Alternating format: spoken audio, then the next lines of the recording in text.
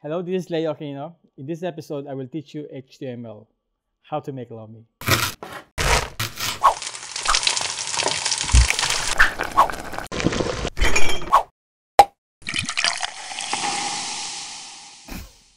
Ang core.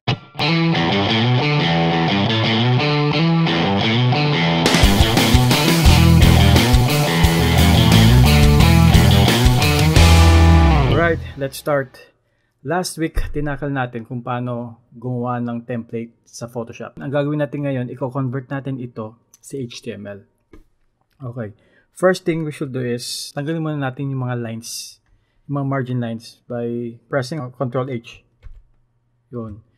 And, ang gagawin natin is, itong logo, itong picture, at itong mga thumbnails na ito, at lahat ng mga nakita yung mga images dito, i-extract natin at isi-save natin sa isang folder. Okay, uh, let's do it now. First, uh, pili natin yung logo. Ayan. Yan yung um, market tool. Highlight natin. Uh, edit, copy, file, new. Uh, pangalan natin, proper name, logo. Then, edit, paste. So, same process ito namang background image. Oh, market tool, highlight natin. Edit, copy, file, new, uh, BG, probably BG, as in background. Then create, edit, paste. Next is thumbnails. Edit. I mean um, highlight natin. Edit. Copy. File. New. Uh -huh. image.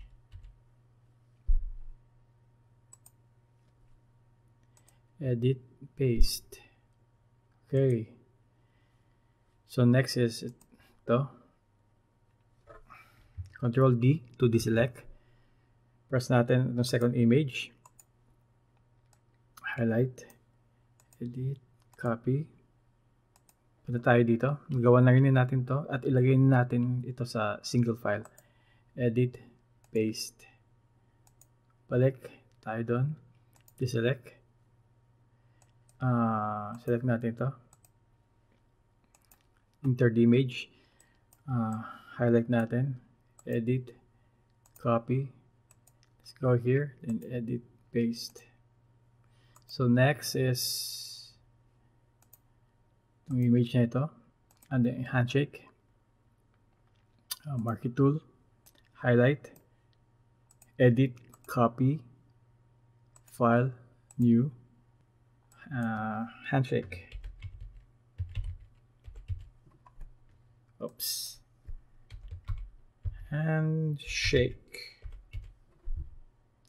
create edit paste.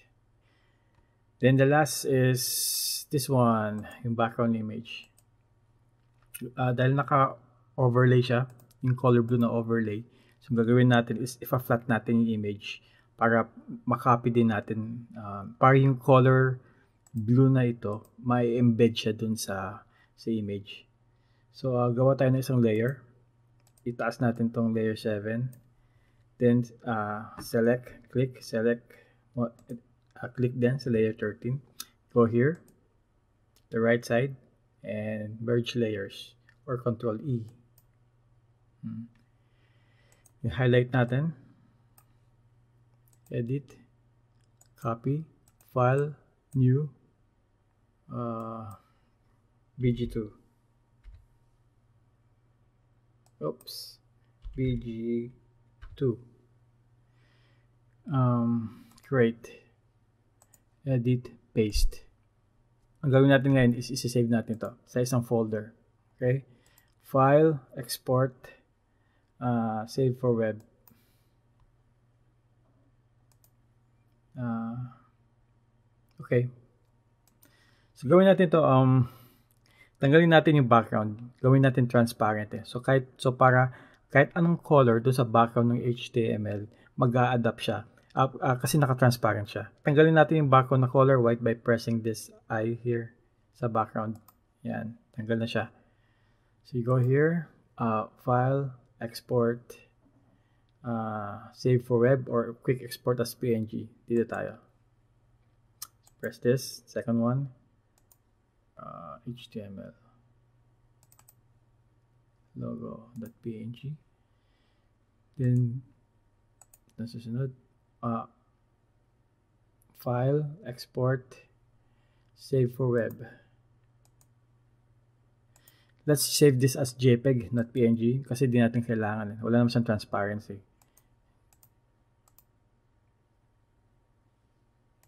Save.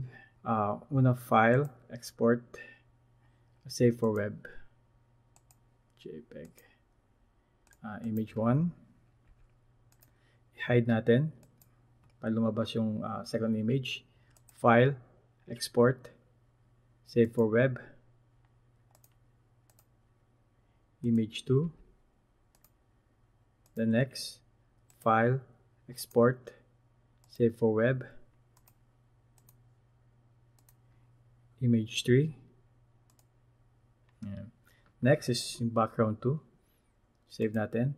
Ex file, export, save for web. BG2. Tapos yung handshake. File, export, save for web. Handshake. Yan. Alright. So, balik tayo dito.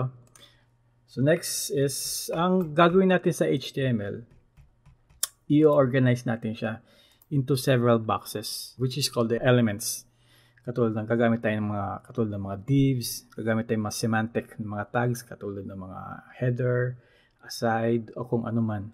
Sa ngayon, hindi nyo pa maintindihan, pero mamaya i-demo ko sa inyo.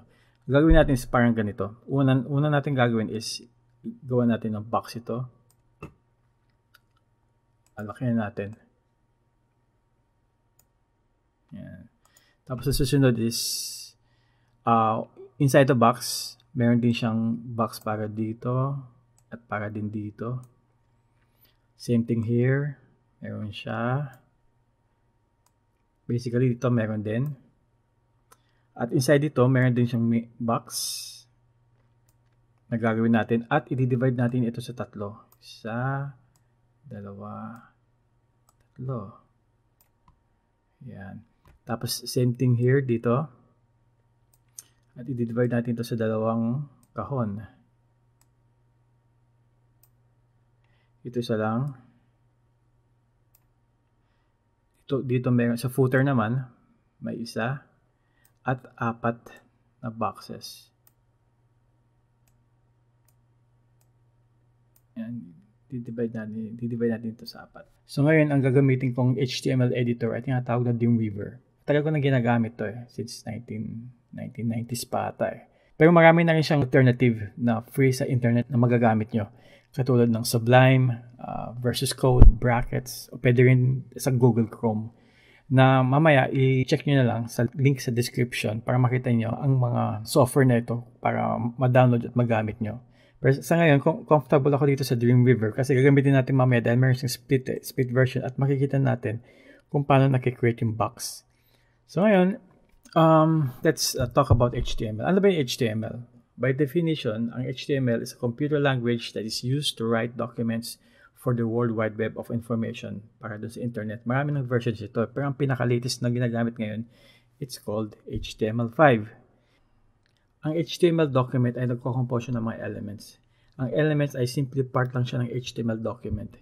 Kung manonotice nyo, ang HTML element ay nagko-compose ng mga opening tag katulad nito. Uh, ginagamit is usually is uh, less than symbol, tapos uh, greater than symbol. At sa gitna nito, meron siyang tag name. Uh, for example, is div. At i-close natin itong div na ito by using the less than symbol, tapos slash, then div, then uh, greater than symbol. At sa, sa gitna nito, maglalagay tayo ng text or images. Leo Aquino. Yan. Kung titingnan natin sa split, sa live part, ito siya. Nakita yung mga lines ito. Ito yung div. And uh, usually, uh, most of the time, naglalagay tayo dito ng mga IDs and classes, which is called attributes. For example, is ID equals double quotes. Tayo magde-declare dito. Pwede name or pwede last name. Tapos, itong last name na to, tatargetin natin to sa CSS para ma-manipulate natin ito. Pwede natin lagyan ng colors, pwede natin gawin bold, lakihan, o pwede natin i-animate. So, the, uh, diretso na tayo sa HTML. Design na tayo. So, unang gagawin natin is, uh, isi-save natin muna itong document na ito. File, save, at uh, yan. Usually, is ginagamit is index.html. Eh. Index. Kasi ito yung binabasa ng server. Ito yung default ng servers. Index. Alright. Okay, umpisa na natin. Ang HTML5, meron siyang required elements. Usually, yung ginagamit dito is yung doc type um, exclamation point all caps to ha doc type and HTML saan mo ginagamit ito uh, based dun sa definition ang doc type declaration is used to inform a, vis- a website's visitor's browser that the document being rendered is an HTML document importante ito na dapat all caps ito kung hindi baka magka-error kayo sa validation at the end tapos ang, ang susunod na required is opening ng HTML Ah, uh, oh, okay na to kahit all caps. Pero hindi naman sensitive ito. Eh. Um, HTML. Then, closing tag.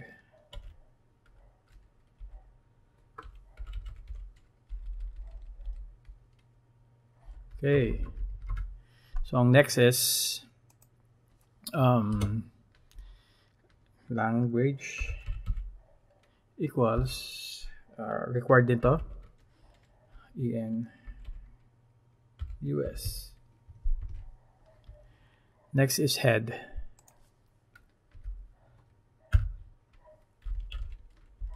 Head opening, head closing.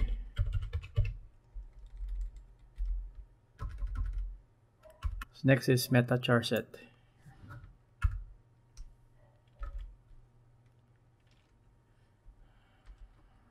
Meta charset.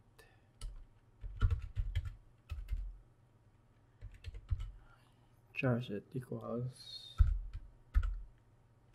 UTF-8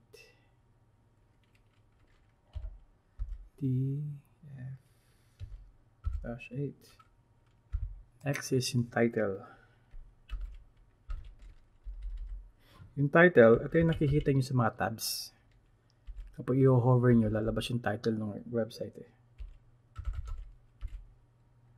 Hmm. Tapos, usually, dito sa head na to, dito nilalagay yung mga scripts katulad ng JavaScript, CSS, o meta tags, or uh, yung description ng para sa website.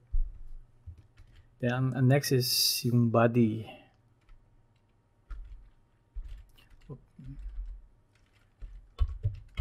Body, opening, tapos i-close natin. Body. Right. Yan. So, itong HTML, ito ang kanyang required na elements na kailangan dapat nandyan lagi yan. Okay, umpisa na natin. So, anong gagamitin natin mga tags ngayon? Ang gagamitin natin mga tags ngayon ay puro semantic. Ano ba ibig sabihin ng semantic? Uh, by definition, a semantic element clearly describes its meaning to both the browser and the developer. So, para madaling malaman ng mga ng, ng developer uh, kung ano ang heading, kung ano yung para sa body, kung ano yung para sa footer kasi dati, madalas ang ginagawa is, mas, mas lalo ako is, lahat po divs. Like, for instance, divs, tapos divs, yeah, slash divs, tapos, uh, dito ko na, uh, title, lahat yan po ganyan. Divs,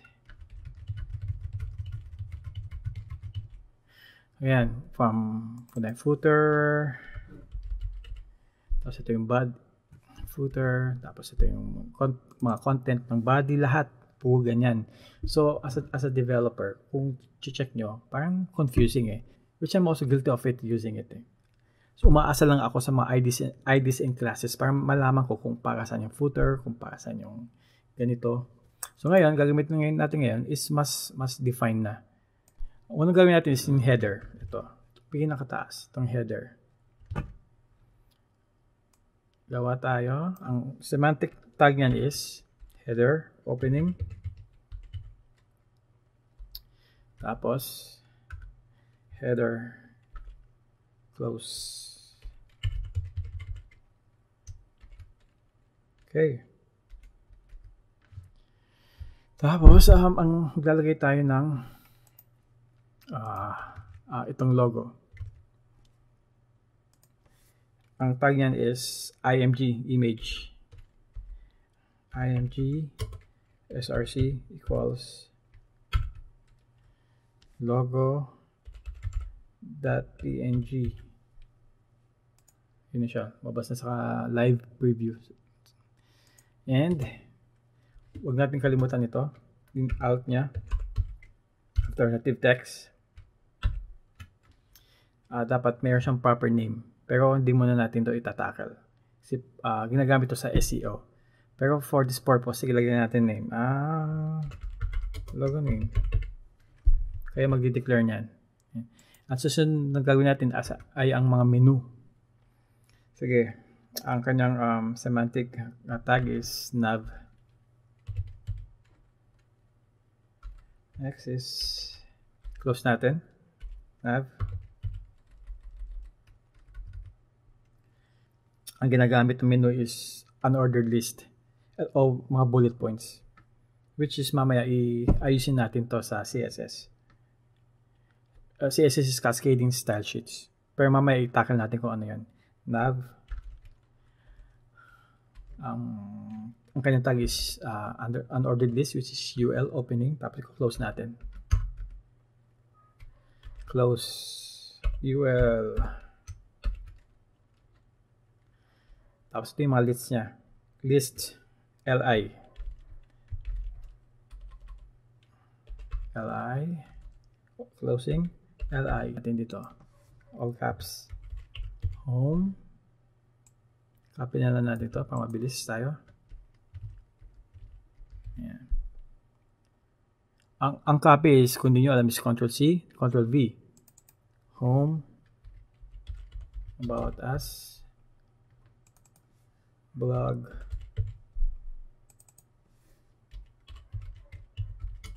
Contact Us.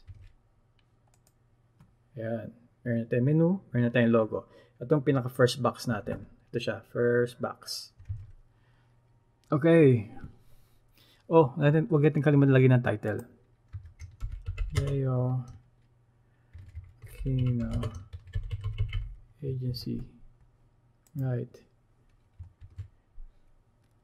Yan. So, next na gagawin natin ay itong, um, what you call this, uh, banner, main banner, or hero banner, tinatawag nila.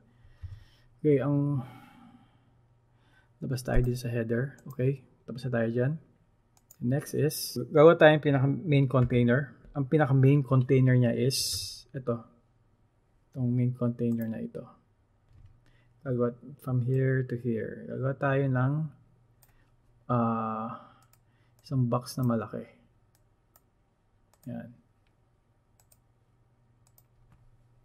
Ganyan. Balik tayo dito. Pangalan ng box na yan is main. Main, opening main closing right sa loob ng main gawa tayo dito ng itong box na to gawa natin box which is uh, section section tag section opening and uh, section Closing. Okay, so ang next na gagawin ay header. Header. Header.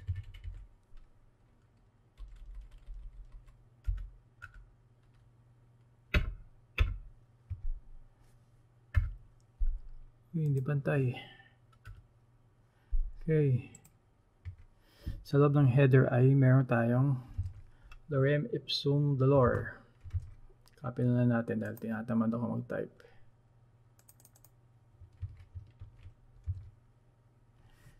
Uh, Bigyan natin h1 tag. h1. Tapos closing, h1.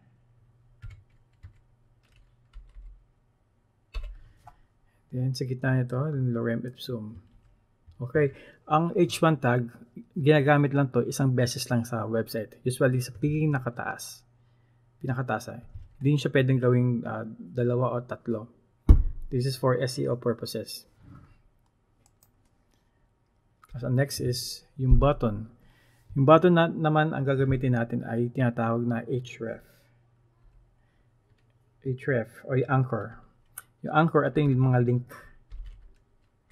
Kung mamaya, uh, ipakita ko sa inyo kung ano itong anchor tag na ito.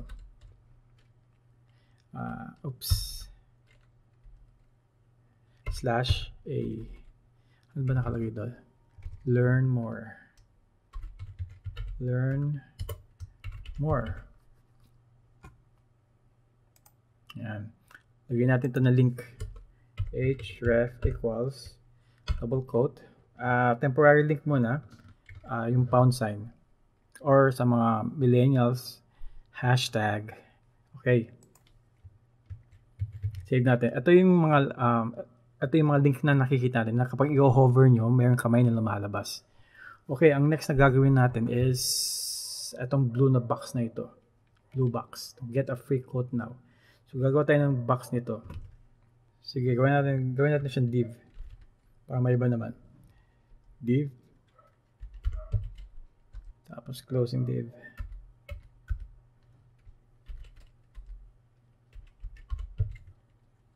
Sige, kuha tayo header sa loob.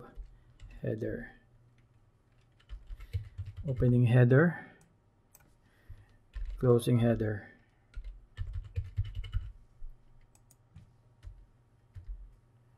Sa loob ng header ay mayroong um, get a free quote now. Sige, gawa natin ng article.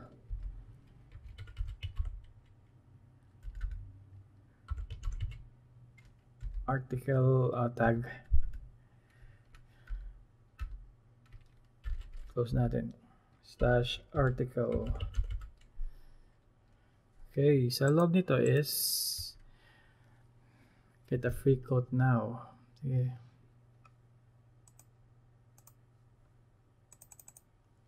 copy natin dali natin dito lagyan natin ito sa loob ng h2 tag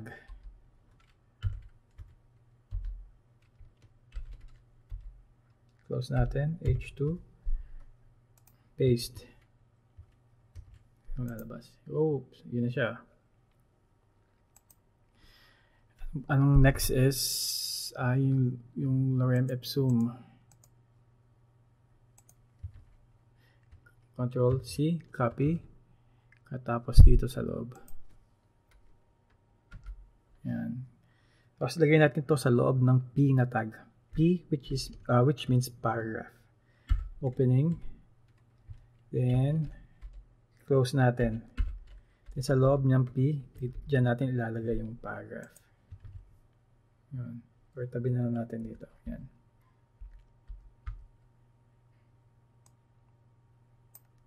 Diyan na lang siya. At, yan. Yun. Next, next is yung button. Click here. Copy natin to sa taas. Yung anchor na ito. Tapos lagay natin dito. And gawin natin click here para mas mabilis tayo. Click here. Click here. Alright. So next na gagawin natin ay itong blog. Saan ba tayo? Dito. Oops. Mali. Dito. Okay. Gawa tayo section. section. I-close natin. Ano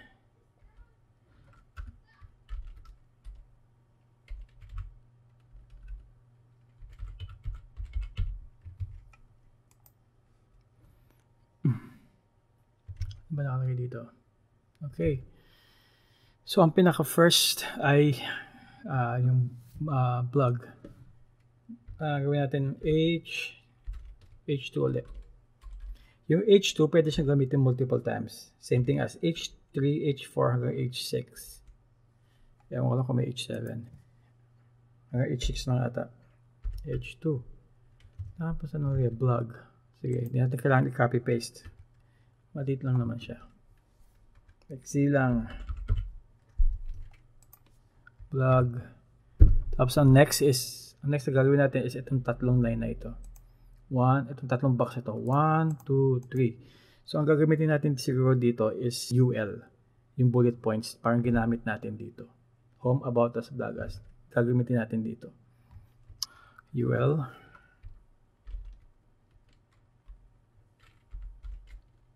Oops, all caps. Small caps lang.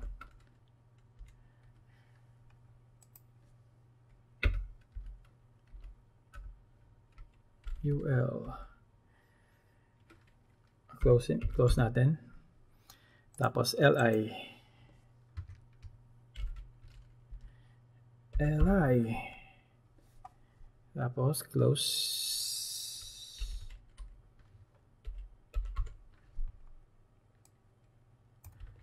Yan. Um, lagyan natin space dito. Maglagay tayo ng space. Yan para mag para meron tayo dito ano uh, space para sa ano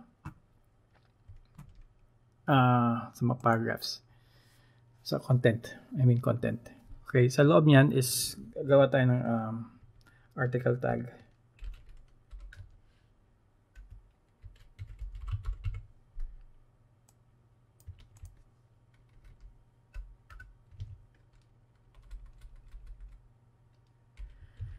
Sa loob ng article tag, meron siyang image. So, same here. Itong image source, logo.png, gagamitin natin dito.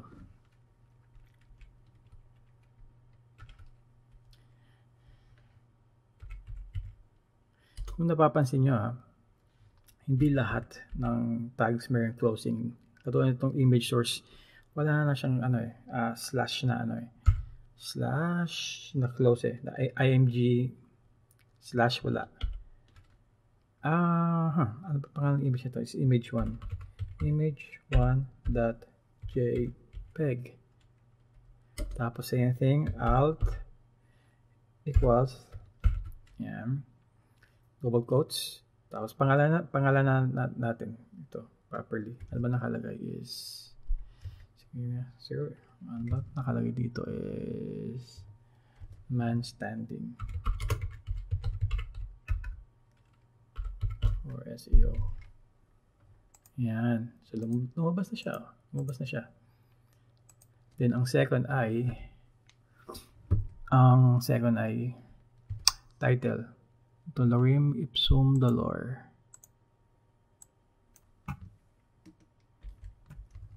Dolorim ipsum dolor. Copy natin. Ilagay natin ito sa loob ng H3 tag. H3 naman tayo close natin, h3 slash h3. Then, boom. Then, lagyan natin yung lorem ipsum na content. Copy na rin natin.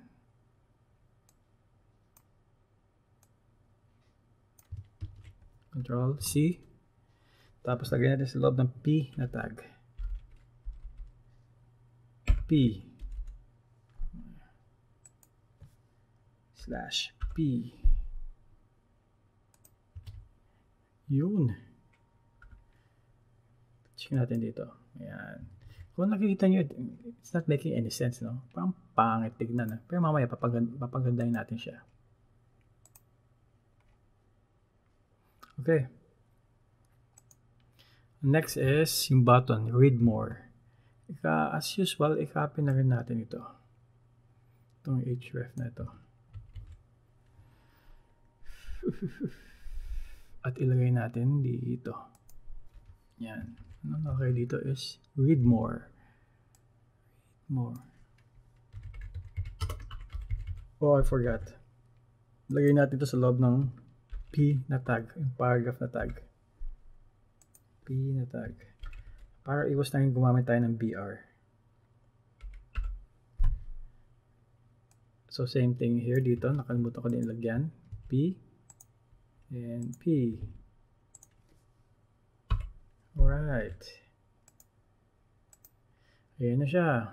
Hindi pa siya nagkakaitsura. Pero, So, gawin natin ay itong li na to. Para mabilis tayo, i-copy natin. li. Uh, enter. Dalawa. Yan. Tapos isa pa, para tatlo. Yan. Boom. Ngayon, baguhin, baguhin lang natin to. Yung name ng image. Image 2. Tapos image 3. Yun image 1. Ay, image 1. Ito pala man stand. Ito pa yung man standing. Ito image 1. Pangalan natin to ng mas maayos. Uh, ano ba? Globe. Ewan ko. Ito naman, engagement. Engagement. Sorry, dapat to capital G para maganda. Yan, man standing. Alam niyo ba kung para saan tong alt na ito? Ito yung nakikita nyong uh, kapag yung browser nyo uh, pinapatay nyo yung image. Meron kasi, meron kasi ano eh, option doon sa browser na pwede nyo tanggalin yung image eh. Tapos ang makikita nyo lang is letter X, tapos may, na, may nakalagay na globe, engagement, standing, meron siyang text na nakalagay. Siya yon Or kapag i-hover nyo yung image sa browser at meron lalabas, nilalabas na nina nakaloot na nagfo-float. Siya yon. Ito yan. Alt. Okay, tapos na tayo sa vlog. So, ang next na gagawin natin ngayon is, mabilis tayo ah, is itong blue na box na ito. Itong lorem ipsum dollar na ito. Itong handshake. Okay, para may variation ulit, balik tayo sa div. Div. Div tag. div dahil dalawang column ito gawa ulit tayong div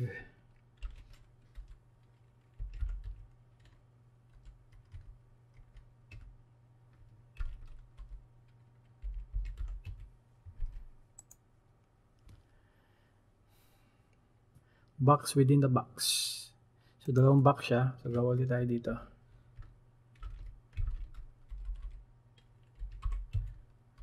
Ay, HTML4 lang ah. Right. Sa loob ng div na ito, lagay natin yung image img src equals ano ba pangalan ng image na yun? Handshake. Handshake dot jpeg. Ayan siya. Handshake.jpg.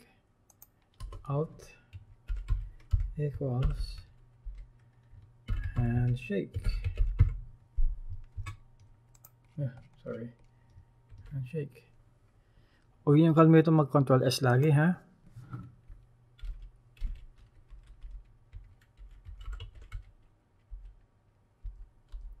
Slash article. Close natin. Oops article.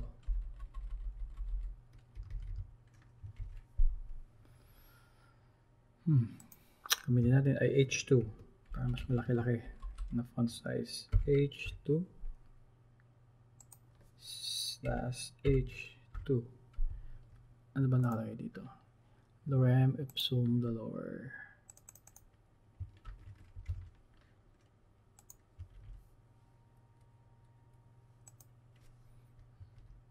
Tapos paragraph.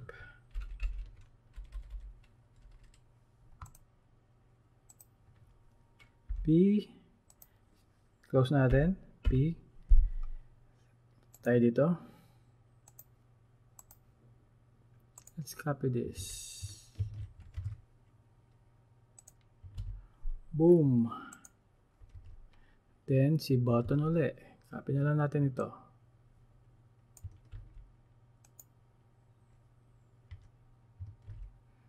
You know learn more.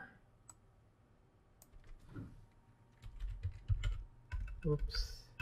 All caps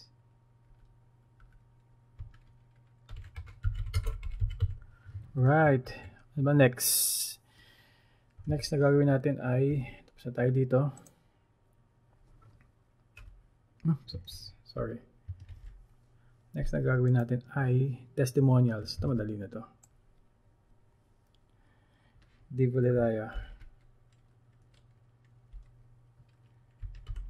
div ah, div opening div closing.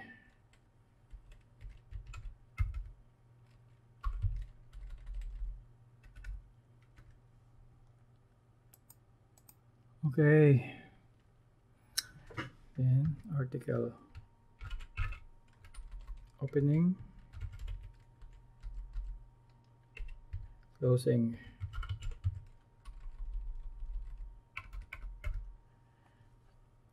H2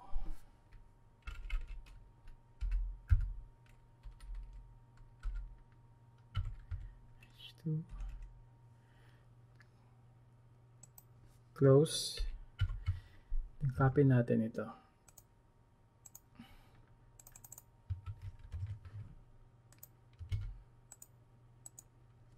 Right. Ang next is yung text niya. Paragraph opening P and closing.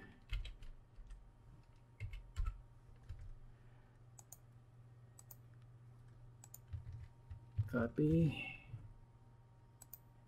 Paste. So, last niya is si Juan Nakpil. Sige.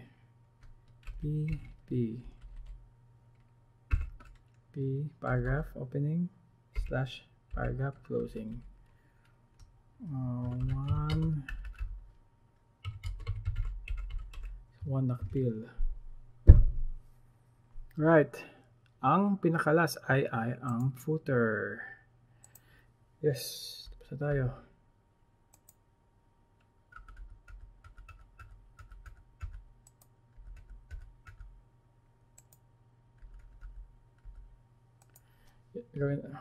Ngayon, labas tayo sa main.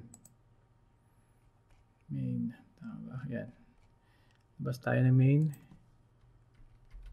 Gawa tayo ng footer. Open, opening footer. Ay, all caps. Small lang. Footer.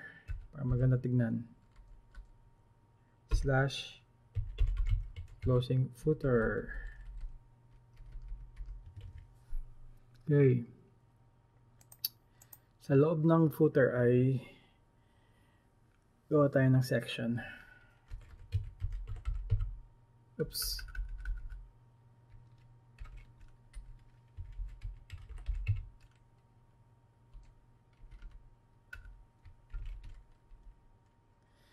Close section.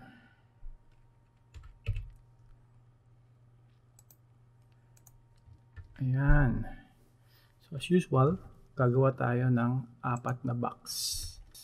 1, 2, 3, 4. Gawa tayong box dyan. Unordered list. UL. Yung bullet points, kung naalala nyo.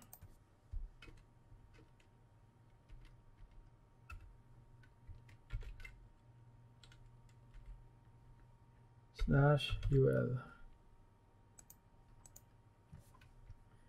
li li ito yung mga list niya. Ito yung bullet point list.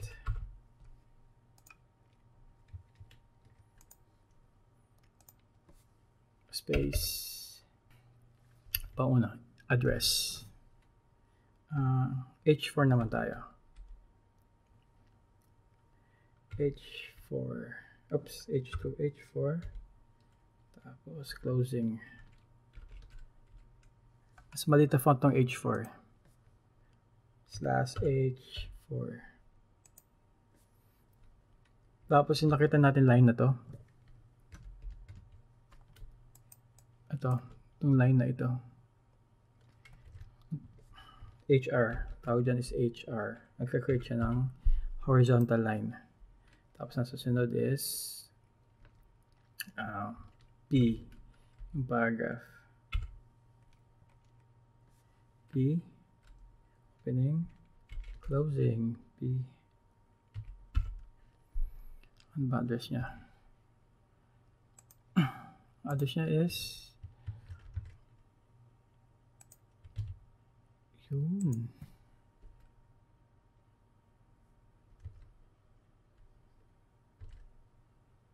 Ah, gamit tayo ng BR dito. BR. Para bumaba. C ang ano. Yun o. Ngayon, kakopy natin to. Lagyan natin ito para mas maganda tignan. Oops, page up. Sorry. Cut natin. Copy na lang natin to 3 times.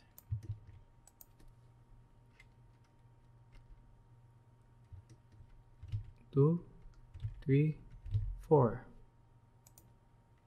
Okay, apat na siya. Ah, sa H4 hindi ko nalagyan. Address.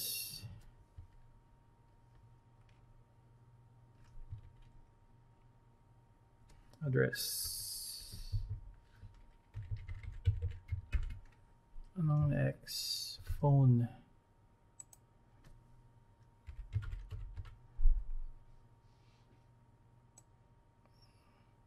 One, two, three, dot four, five, six, dot seven, eight, nine.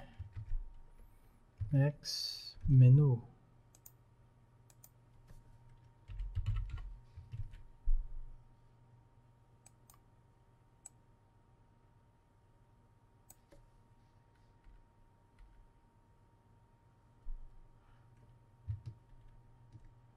Sige. Home.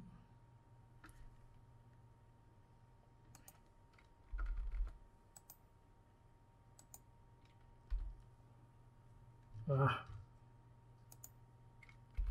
Home. PR. PR. Copy. Paste, paste, paste. Home. About us. About us.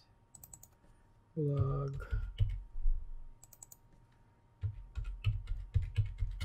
Contact us.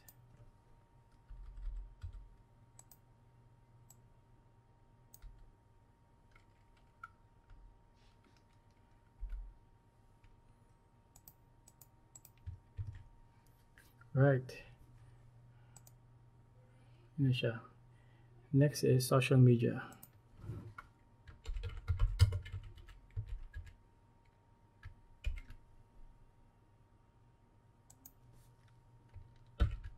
Okay guys, sa ginagawa natin ngayon, importante din na matutunan natin uh, itong HTML, kung paano mag-code sa HTML at paano din gumamit ng CSS. Pero kung tutuusin, hindi siya kailangan sa WordPress. Once na na-install nyo na WordPress, yun na yun eh. Uh, drag and drop ang WordPress eh. Pero kagandahan lang nun, kapag meron kayong client na meron siyang gustong feature na ipabago, at ang pwede nyo nang gawin is i-manipulate yung HTML, meron na kayong idea at madali na para sa inyo. Okay? So, ang next na gagawin natin ngayon is um, maglalagay tayo ng mga ID, ID names or class names para magawa natin to ito sa, sa CSS para mapaganda. Kasi kung titignan nyo, wala pa siyang itsura. Eh. Uh, punta natin to. Ito. Ito ang kanyang itsura. Tanan! Ang pangit. Wala pa. Wala pang ka-itsura-itsura. Ngayon, papagandahin natin to sa sa CSS. Okay, maglalagay na tayo ng mga attributes which is paggamit ng IDs. Okay? So, pinakauna is yung header. Ito. Kaya natin kailangan maglagay ng ID para pagdating sa CSS, madali na siya matarget. Mamaya papakita ko sa inyo. ID, yung kanyang tag, uh, yung kanyang attribute name at ito ang kanyang attribute value which is uh, huh, top menu. Yan. Itong top menu na ito, kayo magde-declare niyan. Itong ID name given na to. Ha? okay. Ang next na gagawin natin, itong section ID na ito. Which is, uh, pangalan natin, which is ito. Ba Sorry, ito.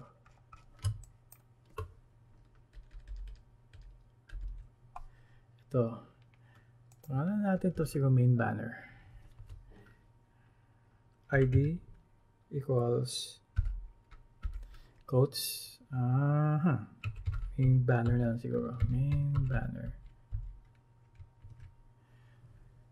So next is ano ba next? Next is itong blue na box na ito. Get a free quote now. ID equals uh, ano? Blue box na lang siguro. Obvious. Blue box. Para madali tandaan. Okay, ang next is ba next? Itong blog. Blog. Dito section na ito. ID equals uh, main blog.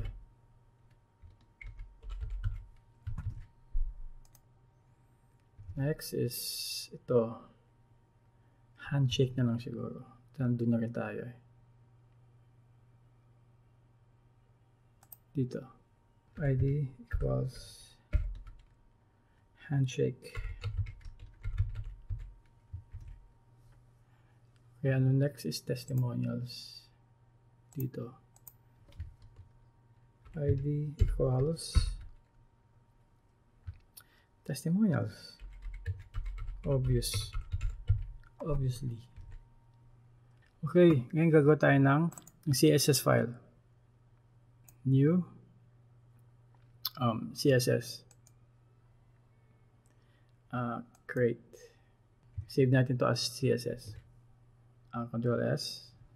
Um, styles.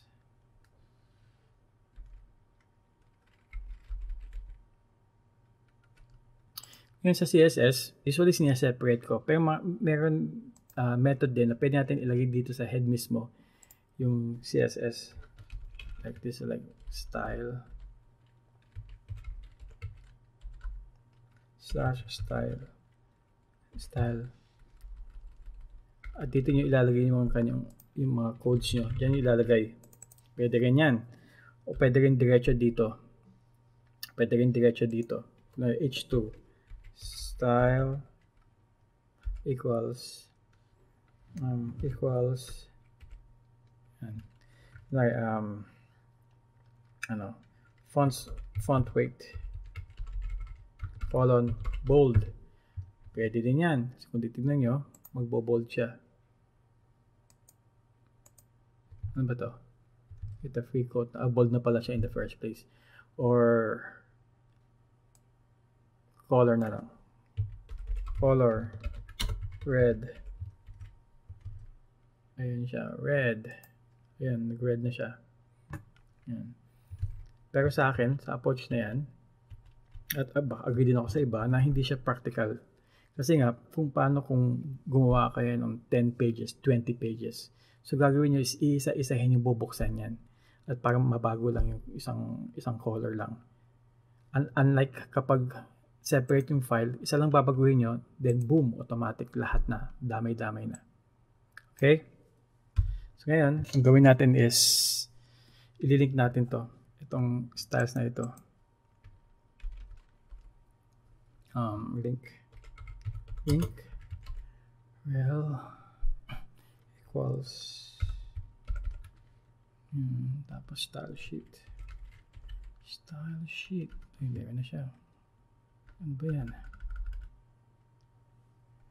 Yan style sheet. Tapos href. Equals style.sss css pa pala yung sss matanda na tayo. Okay. Ang unang gagawin natin is yung top header.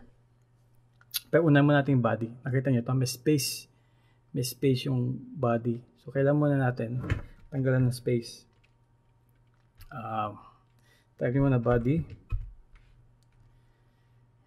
uh, opening bracket, closing bracket. Tapos, gawin natin is margin 0. Margin 0.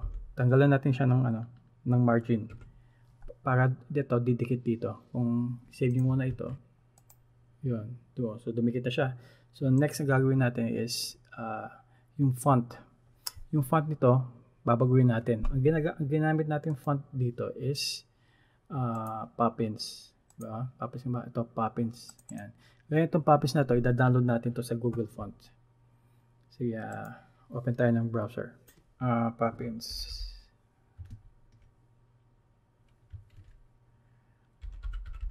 Poppins. Google Font. Yan. Click nyo lang to. Free lang ito. Mm. Tapos, ang kukunin nating font is itong 400, regular, uh, select style. Yan. Tapos, ang next is ni 800, yung bold. Ito, pinakamakapal. Yun. Itong regular 400, extra bold, ito, itong gagamitin natin. Tapos, i-embed natin ito ngayon sa website. Kunin natin itong link na ito. Copy paste lang natin. Um, copy. Control copy. Punta tayo sa Dreamweaver. Click tayo dito. At lagyan natin sa loob ng head. Paste. Control V. Yan ay yung font natin kaya pag pupunta tayo dito. Ayan. We have in font family. Font family. Uh -huh. colon. Quote. Poppins. Tingnan natin kung gagana. Ayan nabago na siya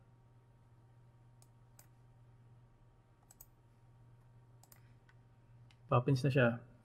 Tapos gagawin natin is maglalagay tayo ng isa pa, iba pang mga fonts just in case na mawala si Poppins hindi siya available which is impossible unless mag-down ng server ng Google. Sans Serif. Tapos kung di available si Sans Serif kay Verdana tayo which is uh, yung default font ng mga browsers okay So, next is yung width. Gawin natin 100% para from edge to edge sakop siya. Width 100%. Saka ano din to para sa mobile. Kasi nagkaka-issue tayo, nagkaka-issue ako sa mobile eh, kapag hindi ako naka-width 100% eh. Nagkakaroon siya ng um, white na space gap kapag nag kung check nyo sa sa mobile devices nyo. Tapos next is overflow. Um, dash x. Um, hidden. Yan. Si ang overflow x hidden ang ginagawa niya is kapag may lumalagpas ginagawa niya kiniklip niya between uh, dito sa kaliwa o dito sa kanan. Kiniklip pang tinatanggal niya sige so next na gagawin natin is yung main box main which is the whole entire thing from here from dito hanggang dito. So, gawin lang natin siyang uh, 100%. Main. Uh, opening brackets. Tapos, is, ang width niya is 100%.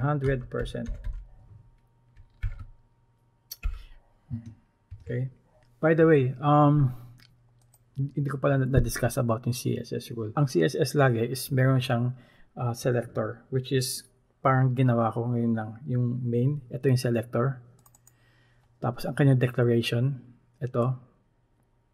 Ito ang kanyang declaration. Tapos itong property niya with at, at kanyang value. Kung gusto niyo malaman kung ano ang kanyang mga iba't ibang mga properties, punta lang kayo sa w3schools.com. Doon yung makikita ang mga list ng kanyang mga iba't ibang properties na magagamit nyo. So, ang next na gagawin natin is itong top menu sa taas. Itong logo tapos itong about us. Yan. Okay. Uh, um, pound sign uh, top menu. Itong pa, at uh, hashtag na to o pound sign na ito, ito yung symbol ng ID. Ito siya. Pag sinabing ID, automatic pound sign siya. Ha? Kapag classes naman, uh, dot siya. So, top menu. Tapos, opening bracket, closing bracket. Okay. gagawin natin width siguro is, ang width niya is uh, by, by percentage gagamitin natin. Ito ay gagamit ng pixels para sa uh, mobile version. Ang, ang mobile version hindi siya okay sa pixels. So, ang pinaka-close is 75%. Gamit tayo. Yan. So, ang width nito is from here, uh, sorry, uh, dito hanggang dito. Yung width niya. Hindi niya makikita sa ngayon. Width and margin ang margin niya gagawin natin auto para i-center niya yung top menu yan, save natin control S refresh ayan, naka-center na siya uh, paano niya malaman center? sige, lagyan natin yung background color background background tapos gawin natin red red center siya. Ayun, naka-center siya. Okay? So, tanggalin natin to. Refresh. Okay, and next is, um, ipoposition natin to home, about us, blog, contact us dito sa right side. So, gagamit tayo ng position relative. Position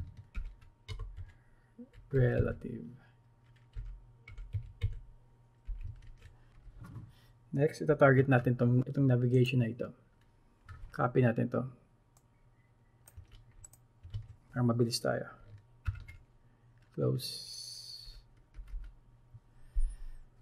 Top menu. Tapos space, nav. Kaya siya nav. Ito siya. Top menu. Tatargetin, ito, tatargetin natin ito. Top menu. Top menu. Nav. Then UL. Okay? Gawin natin position. Pwede yung absolute. Absolute. Tap. Uh, 30%.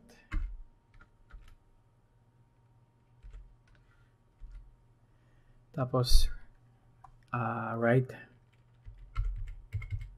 Zero. Save natin. So, mangyayari dito, ito, akyat to. Tapos, itong right, itong uh, menu na to, mapupunta siya sa dulo. So, refresh natin. Ayan na siya. Sa dulo na siya. Right. So, next na gagawin natin is, itong menu, gawin natin horizontal. Uh, paste ulit, para mabilis tayo.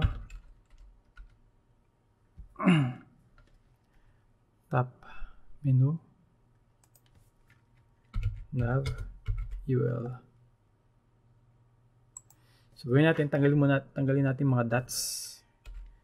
List. List. Style. Style. Ayan. Style. Type. None. Control S.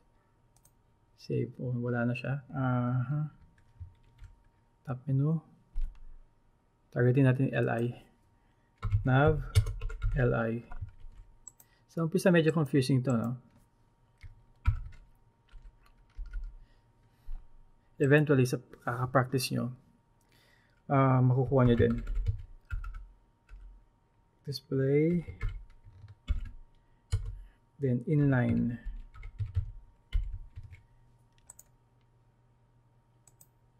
So, ang next na gagawin natin, maglalagay tayo ng space from home hanggang contact us. Sa, sa right side niya, kasi masyado siyang dikit-dikit eh. Punta tayo dito sa LI. Lalagay tayo ng padding. Padding. O sige, lalagay tayo ng padding right. Lalagay siya ng uh, space. Ang lalagay natin is 015 pixels. Refresh. Ayan. Meron na siyang space. Okay, ang next na gagawin natin, maglalagay tayo ng space dito sa logo. Masyado siya nakadikit sa taas eh. So, gawin natin is top menu. Paste na natin. Tapos, target natin itong image na ito. Uh, top menu, IMG. Yan ang targetin natin. Lagay tayo ng IMG. Which means image. Maglagay tayo ng padding. Which is 0, 0, 0, 0. Ang sabihin yan. Sabihin nito, ito yung top, uh, right, bottom, uh, left. Yung kanyang top, top ng logo, tapos uh, ito yung kanyang right, ito yung uh, bottom, ito yung uh, left. Ang taas niya is uh, 50 px pixels, tapos ang bottom niya is 50 pixels. Refresh natin. Boom. Meron na siyang space. Okay? Ang next na gagawin natin ay itong main banner sa gitna. Okay? So, gawa tayo ng main banner. Copy natin. Kunin natin kanyang ID. Uh, pound sign. Main banner. Opening, closing. Kung natin kanyang height, height, ang kanyang height is 560 pixels. Okay. Background. Background image. Uh, colon, because you are URL jpeg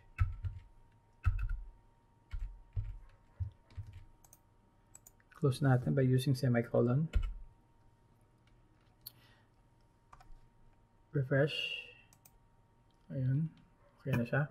Tapos susunod is uh, background repeat. Dapat hindi siya mag-repeat. Background dash repeat. No repeat. Ayan. No repeat.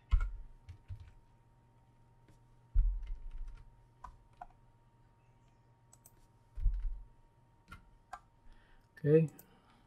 Ang next is background size.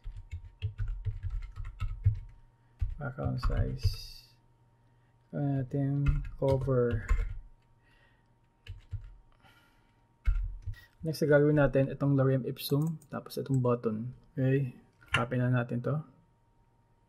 Copy natin. Mabilis tayo. Copy, paste, then erase. Main banner. Target natin H1 H1 kanyang color is white. Gagamit tayo ng hexadecimal. Pwede rin white. Pwede rin ganyan. Magiging white tong lorem ipsum. Or pwede rin hexadecimal. Kung ako sa inyo gamitin nyo hexadecimal para masanay kayo. Hexadecimal is white font size, ang gagamitin natin ay ems, hindi pixels para sa mobile. Kasi ito nag-a-adjust ito sa mobile. 5M gamitin natin. Malaki. Fresh. Boom, malaki niya. Then, ano pa next is ah, margin 0, 0.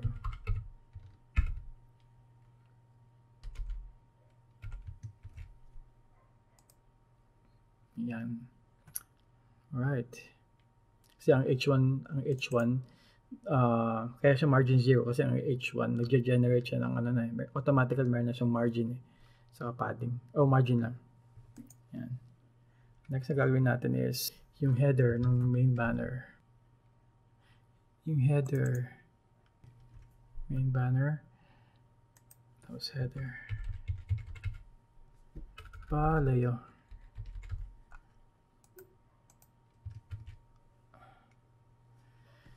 i-center natin tong text. Text align. Automatic now center. Next is gagawin natin to itong itong lorem ipsum na ito at itong button na ito. Uh, igikita natin siya vertically. Okay? Uh, para mas maganda tignan. Tapos gawin natin to position position. Position. Absolute. Automatic na. Kung na kailangan mag-type? Tapos kung position absolute to itong pinaka main banner gawin natin position relative.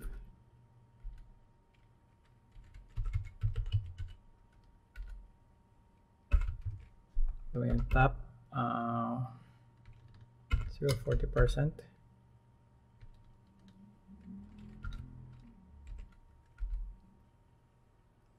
Tapos left 50%. Ang sure niyan. Okay, gumit na na siya. Pero hindi pa rin. Left 50%. Gagamit tayo ng transform, translate. Transform.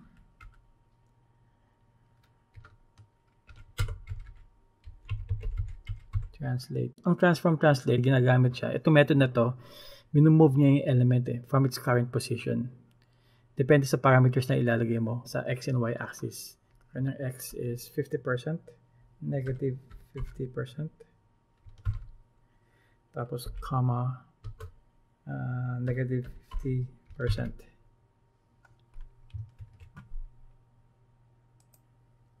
Yun. Ba? Ngayon, gawa tayo ng isa pang copy lang natin to at i-paste natin. Lagay tayo dito ng dash ms dash para gumana siya sa Internet Explorer. Siguro itong position relative dito na natin ilagay sa main banner. Sa HF pala siya nakalagay. I'm sorry. So next na gagawin natin itong learn more na button. Copy natin si main banner. Delete natin ito. A. Bakit siya A? Kasi tina-target natin itong button, which is an anchor button. Ito siya. Main banner. Tapos, andito siya. Ayan, A. Target. Ang color niya is white. Color white for FFF. Pwede rin white. So ngayon wala pa. Kasi kailangan natin tanggalan ng ng decoration nito. Which is yung color blue tapos underline. Text decoration tapos none. Fresh. Yun tanggal na siya. So lalagay tayo ng box sa paligid niya. Uh, background. Background. Ano ba? Copy natin yung color ng ito control C.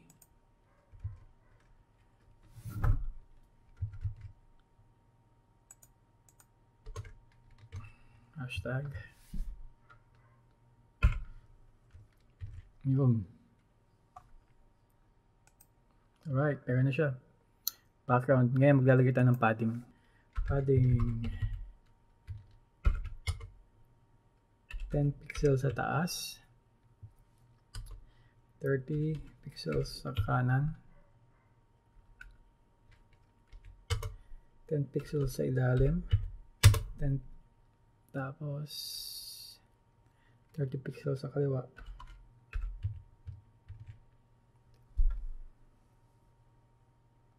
Check natin refresh. Yun Ayan, maglagay tayo ng effects.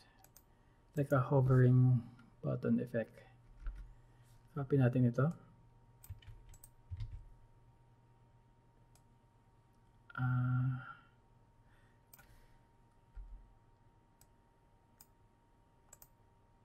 delete natin, delete natin. Iwan natin itong color sa background. Tapos dito sa A, lagyan natin colon, tapos hover. Na upon hover, mag-iiba siya ng color. Dito sa color, ah, uh, baliktarin lang natin to. Dito, yung background niya, magiging dark blue, yung kanyang color, na text ng color. Dito magiging white. Refresh. Pag-hover, boom. Okay. Okay, kakaitsura na, website natin. Okay, ang next is yung get a free quote now. Ah, uh, ito. Itong blue box. Copy natin. Ah, uh, pound sign, blue box, opening, closing. So, ang gawin natin is yung kanyang background.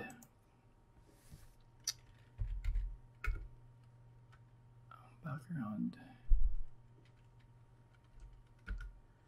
kunin natin yung color.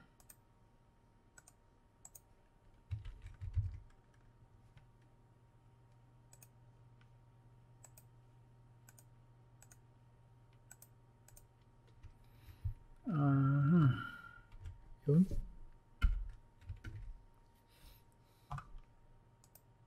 Right.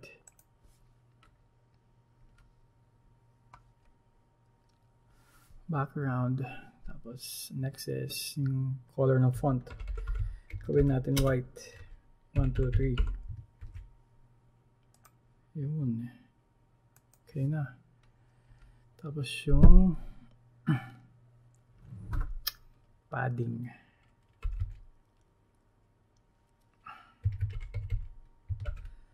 Lagay na yung padding.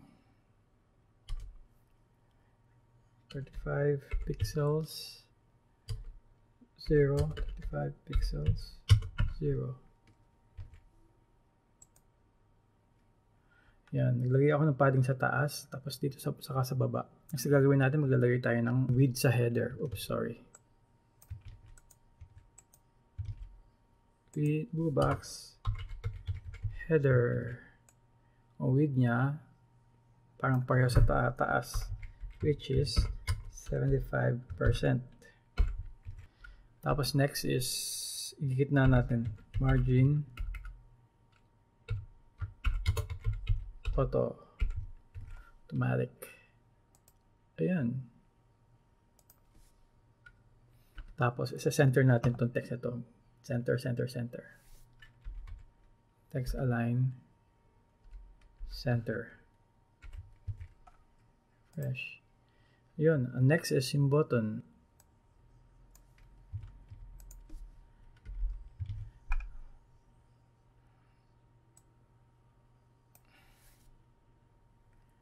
Siguro lakihan natin yung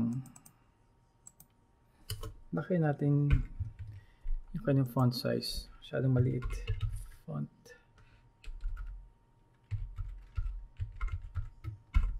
One point five M. Yan. Gawin natin sa taas.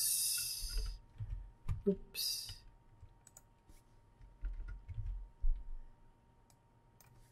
H2 font size is tatlo siguro 3M right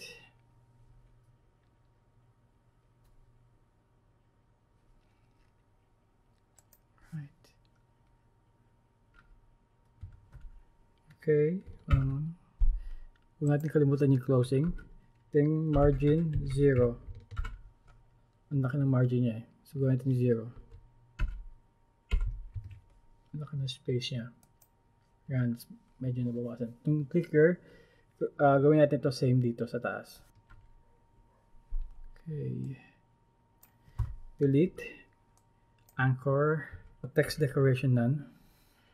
Tanggalin natin yung kanyang color, pati, pati yung uh, yung kanyang underline na which nagde-define kung anong ano itsura ng isang link.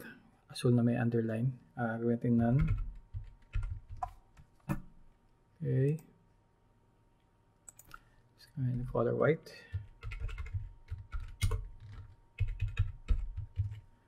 White. Okay. Font weight. Gawin natin bold.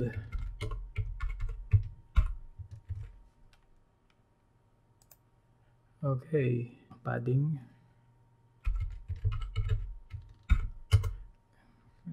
Ten sa taas. 30 sa baba.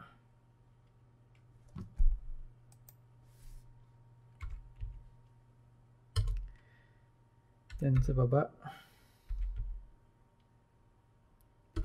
10.30 sa kaliwa.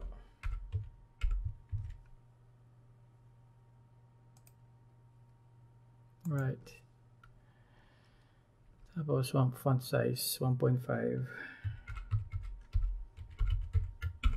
1.5 M.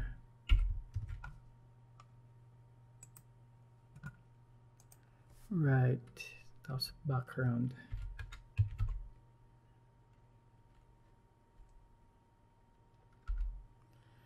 Gawin natin. Ba color nito? Oh, white pala. White. Background niya is white.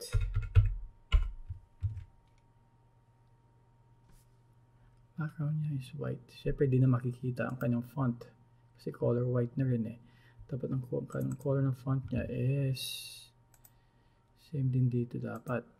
Copy natin color nito. Control C, copy natin. Then, dali natin dito.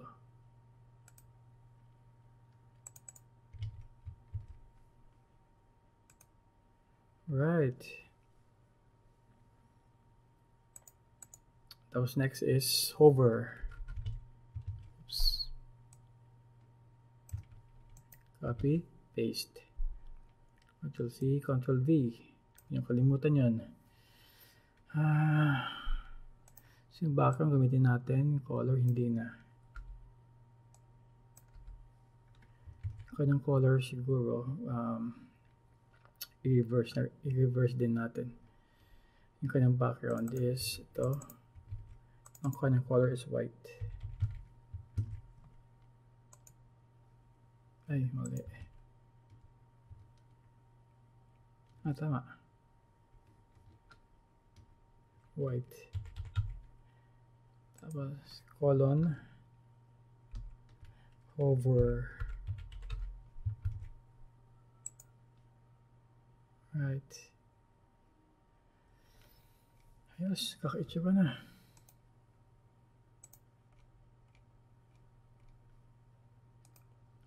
Next na gagawin natin itong blog. Main blog. Nalala ko yun. Main blog. Opening bracket, closing bracket. Width niya, as usual, 75%.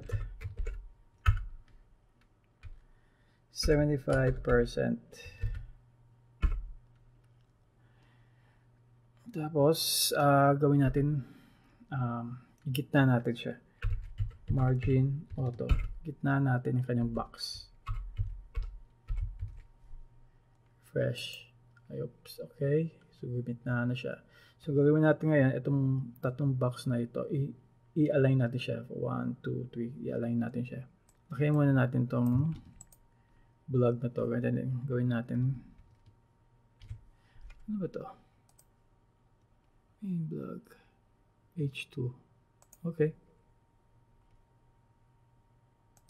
Main vlog H2.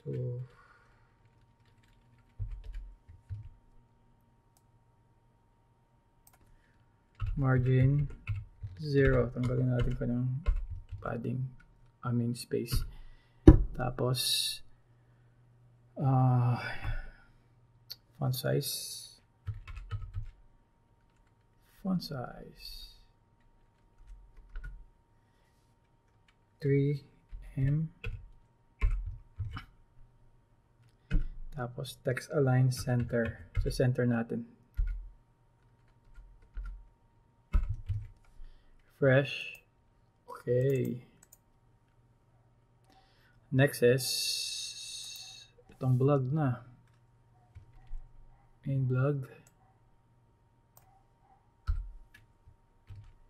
Yung kanyang UL, target targetin natin. Tanggalin natin itong tatlong dots na ito. List, style, type. None. Fresh. Okay. Tanggal na siya. Next, targetin natin kanyang li. ul. Tapos li. Sabihin natin float left. Float left. Refresh, hindi natin makita. Dapat naka full width tayo. Problema, yun sa ilalim umaakyat siya.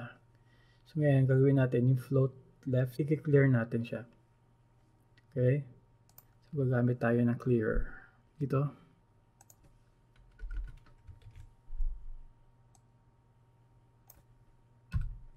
Para hindi umakyat yung mga elements sa ilalim, maglalagay tayo ng clear. IUL. UL a colon after. Tapos, clear colon both. Uh, display table.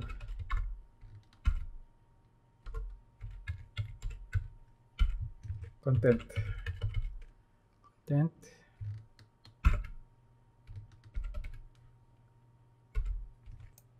Okay gawin natin. Uh, maglalagay, maglalagay tayo ng width. Kaya kaya ayaw umakyat itong tatlo ayaw humilera kasi mahaba siya eh. Meron siyang mga invisible box dito. So gawin natin i-define natin yung width niya. Kanya yan so width zero kung anong laki ng image yun ilalagay natin. Ano bang image? Ito pala. 264 pixels. Sige, gawin natin 364 pixels, 364 px. Yun, makit na. Makit na yung tatlo. So, ngayon, maglalagay tayo dito ng padding para at least may space siya. Siguro right lang. Padding right. Uh, 7%. Yun. So, next na gagawin natin is yung button. To read more.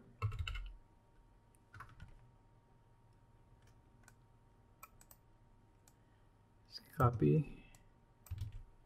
Paste. Main blog. A.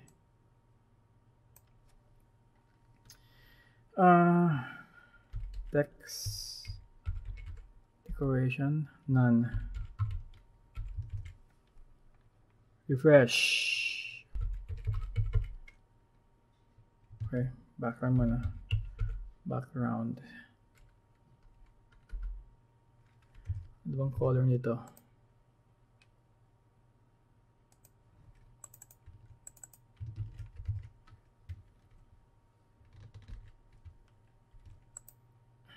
Paste.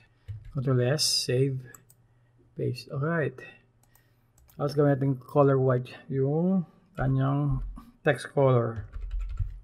Color white. Pagay tayo ng padding. 10 pixels, 20 pixels. Pwede na yan.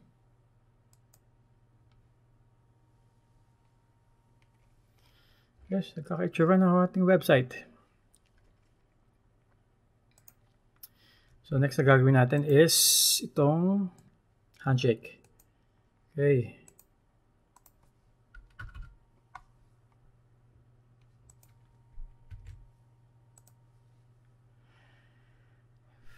Handshake.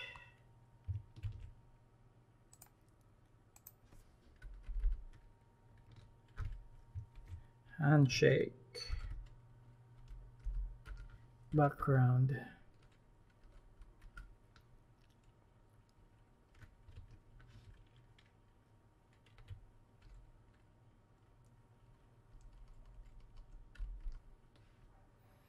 Was URL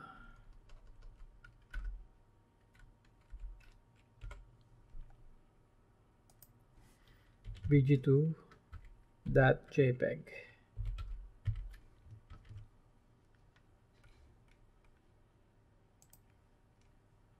Um, background. Repeat.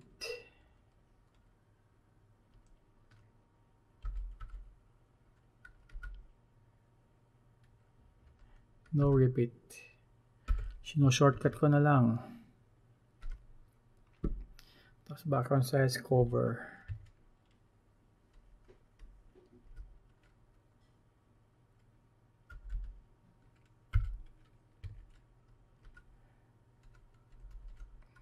cover. Yan. color white.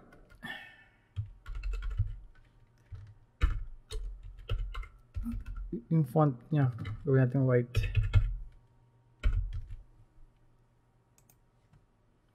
Right no next next is div. Lagyan natin ng kanyang ano ba ng ID ID equals handshake 2 pangit Pwede na yan.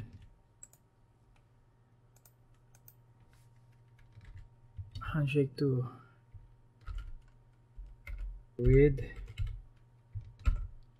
75%. Tapos igikit na natin yung box na yun. Margin, just like ginawa natin sa iba. Auto. Lagay tayo yung padding.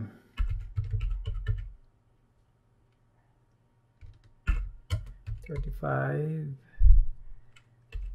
pixels siguro tapos 0 35 pixels sa baba then 0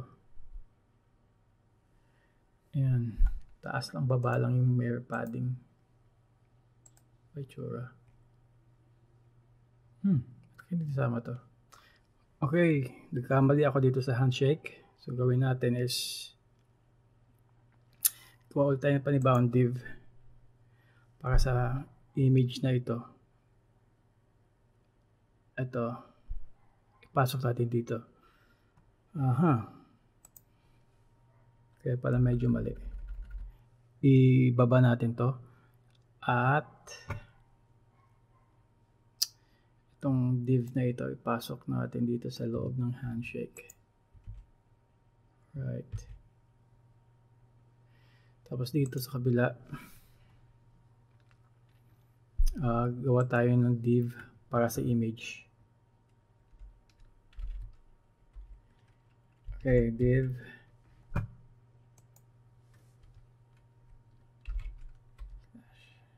Div close natin okay so meron tayong uh, isang boombox na handshake para sa background with tapos sa gitna naman, kung saan nakalagay yung dalawang column, meron siyang sariling box. Ito siya.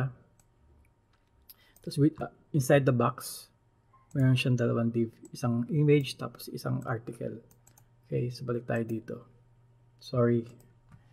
Sorry, tao lang. Okay. So, pag-refresh natin, sumama ni uh, yung content sa loob ng box na ito. So, next na gagawin natin ngayon is i-float natin magkabilaan.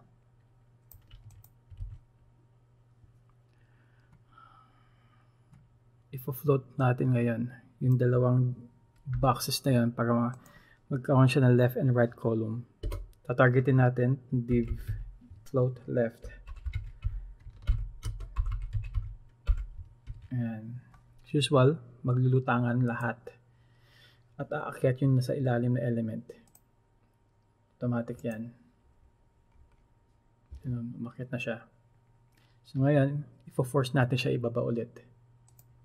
Gagamit tayo ng ginamit natin doon sa blog ng magkabilang box. 700 pixels. Open natin.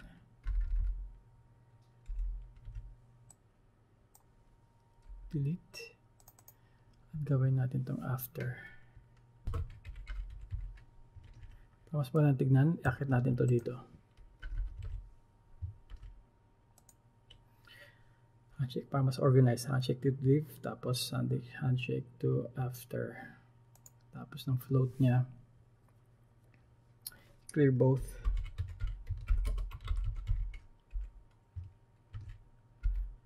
Content.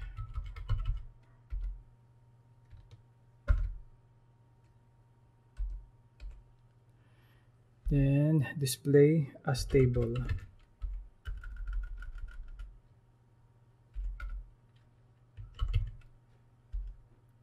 Ah.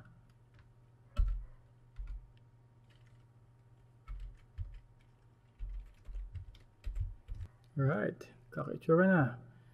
Tapos, gawin natin is margin auto. Itong handshake to gulo, gulo, gulo. Shake to buka ko siya. Okay. With 75% oh 7% I mean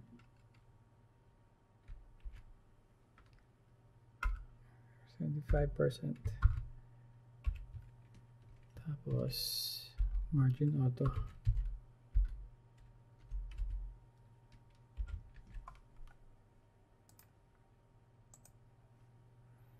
Okay. Padding 35 px 0 35 px sa bottom. Tapos 0 sa kaliwa.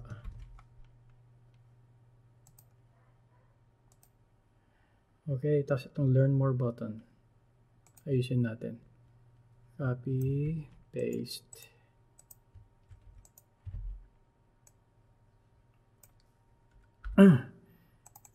yung kanyang H2 uh, ito, itong H2 baguhin natin.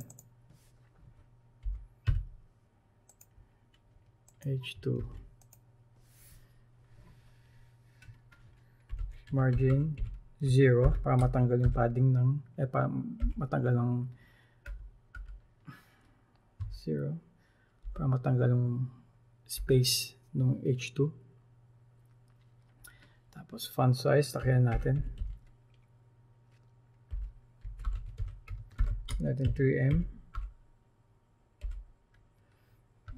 tapos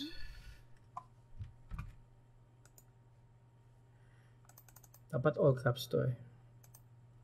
All caps. Ayan. Gawin natin cap capital. Capitalize lahat. Text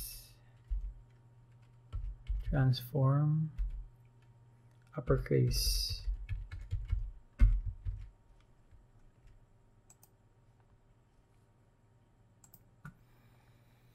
Alright, just learn more button.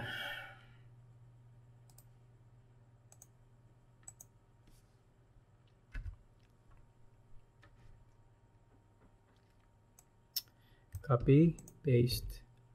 A, anchor, matarget natin. Uh, gawin natin, ginawa natin sa taas. Copy natin. Copy, paste. Text decoration, none, para matanggal yung para matanggal yung kanyang color. Tapos sa background, tingnan natin ang itsura nito. Yan. So, gawin natin background is color white. FFF. F, yung color ng font is blue. Tapos check natin. Ayan. Gawin natin hover to. Gawin natin, meron din siyang hover katulad ng ibang buttons. Hover. Delete natin itong padding. Delete natin itong texturation none. Some background uh, palitan natin, uh, revert lang natin color. Tapos ito gawin natin white. Refresh. Boom. Okay. So next ay testimonials. Pound sign. Saan ba yan? ID, testimonials, copy natin. Save. Testimonials. Opening bracket, close bracket.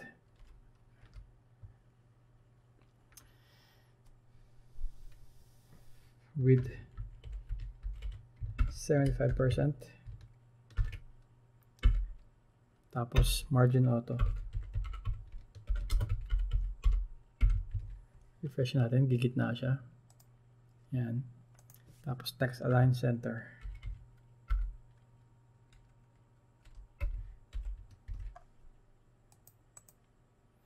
Alright. Tapos si testimonial, kaya natin. Gawin natin, um, ano ba to? H2. Yung kanyang font size, lakihan natin. Gawin natin 3M. Font size, 3M.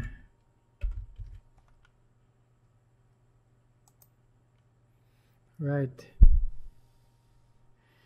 Itong one knockbill, gawin natin bold. Ah, uh, balik tayo dito. Hindi natin siya nalagyan ng ID. Sige, gawin natin siya ng ID. Ano ba? Um, one.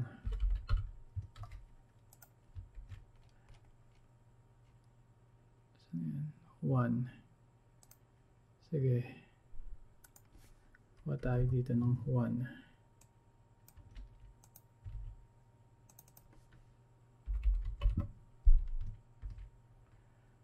Kuha natin font weight bold.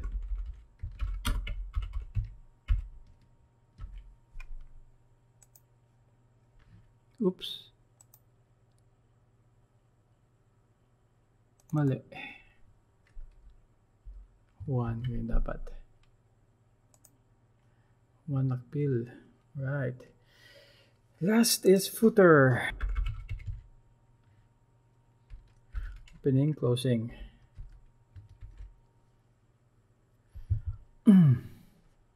Gawin natin yung background color, babaguhin natin. Uh, balik tayo sa Photoshop. ID upper. Tag. Gawin natin yung kanyang value. Control copy. Control C.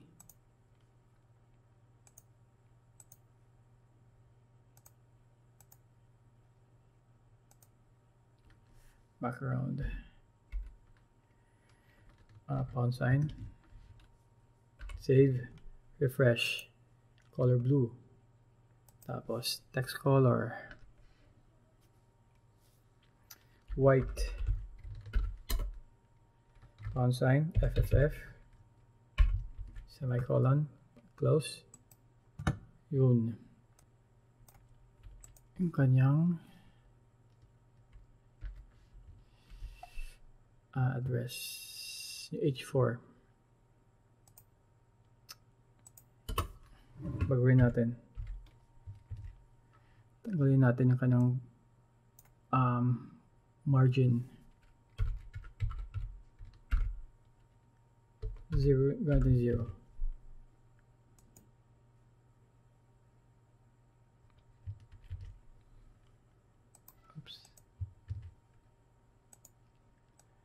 Okay, and next is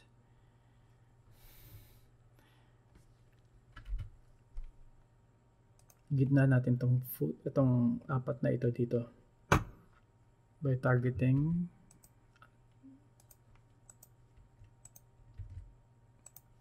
by targeting this ano ba yan? section footer section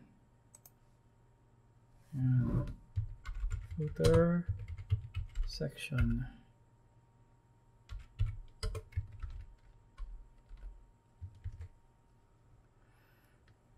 With 75% margin auto pag na.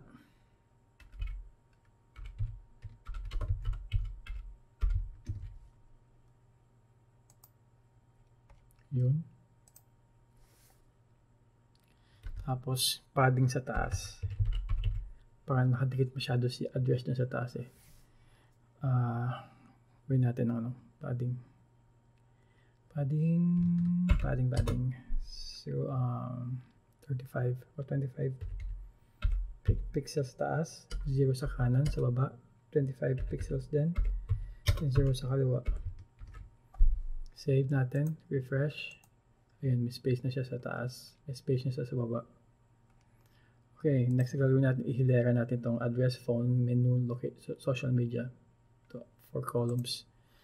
Okay, ang uh, gagawin, anong gagawin natin is yung footer UL. Footer, unordered list. Opening bracket, closing bracket. List style. Yan, type. Tapos, lagyan natin, ay, mali. This style, type. None. Para mawala si dots. Fresh. Oops. Kita niyo to? Hindi siya gumana at meron siyang error. Kasi dalawa ang aking column dito. Refresh. Ayan, wala na siya. Footer UL. Tapos, um, display block natin. Display block.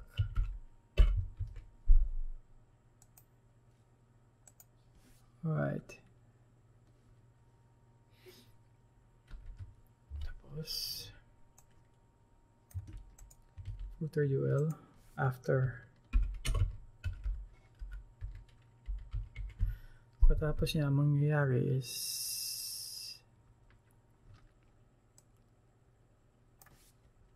parang ginawa natin kanina. Pero maglalagay tayo ng float sa sa kanyang list. Ayun na. Hindi. Copy na muna natin to. Copy, paste, li,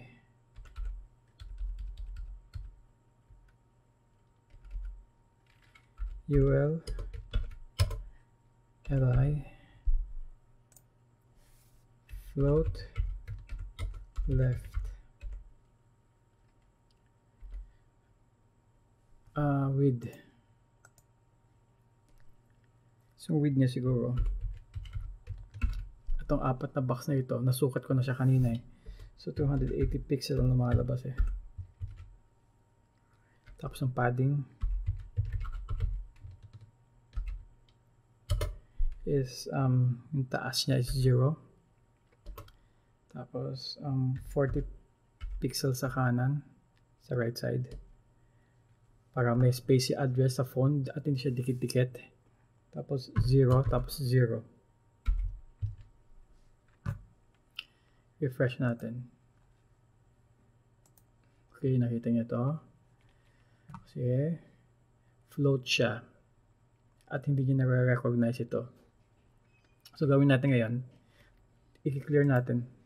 Maglalagay tayo ng clear dito. Clear both. Clear both. Tapos content.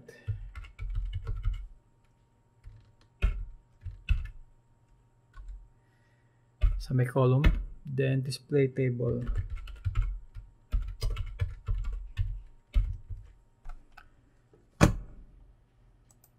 Refresh.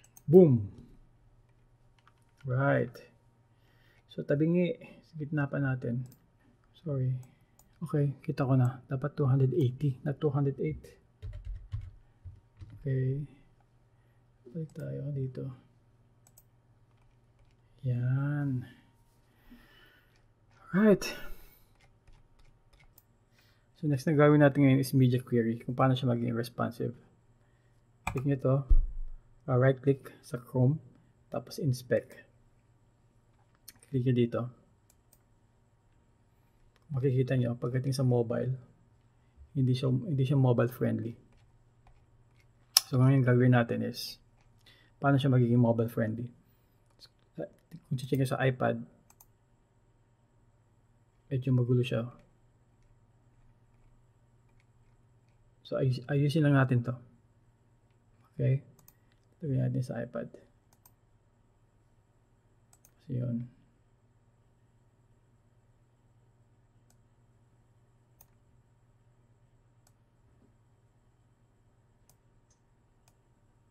Okay. gagamit tayo ng uh, ng tinatawag na media query para um, okay siya pagdating sa sa mobile gadgets natin. Bigyan nyo at media, screen, and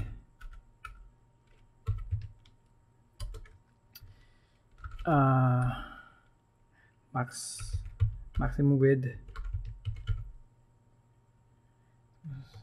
uh, colon tapos 1024 px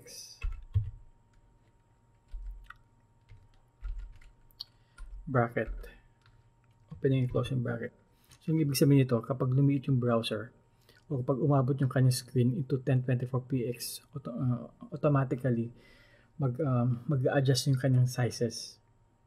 So sige, start na start na tayo.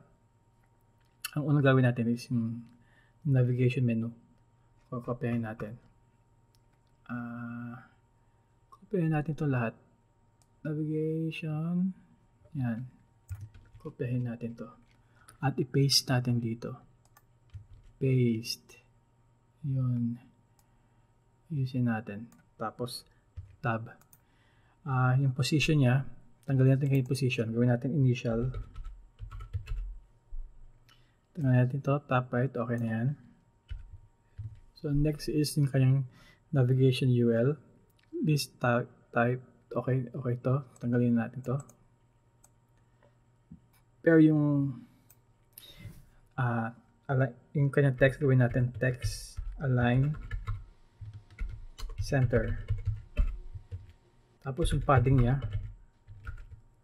uh, 0 to pixel, tapos 0 to px. Ang kanyang font size ay 2M. Para parang makilaki siya.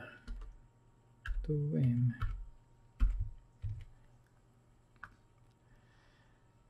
Sa, sa navigation naman, sa display, gawin tama, inline siya. Tapos yung padding, bagawin natin kanyang padding.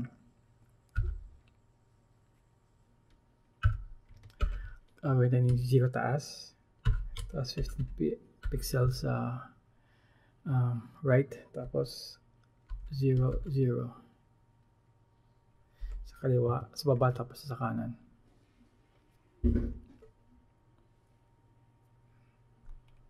Yung top menu ay yung image naman na top menu. Gawin natin, gitna natin siya. Margin. Auto. Auto. Tapos display block.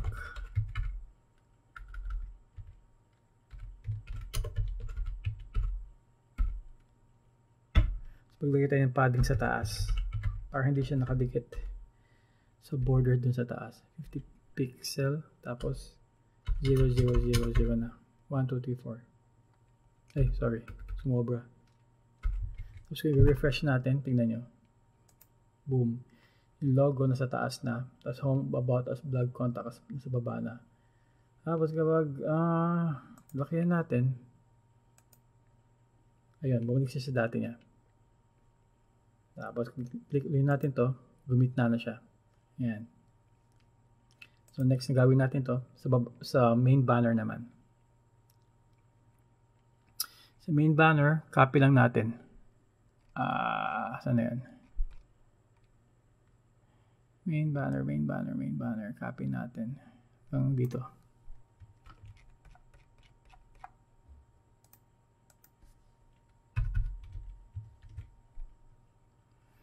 Okay. Sa main banner, Uh, sige, ayusin natin. Tab. Main banner is yung kanya width. Gawin natin 100%.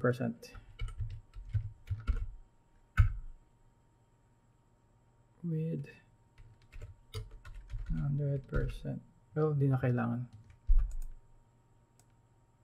Naka 100% na siya eh. 100% naman siya eh. With 100%. So, yung height niya, bawasan natin. Height.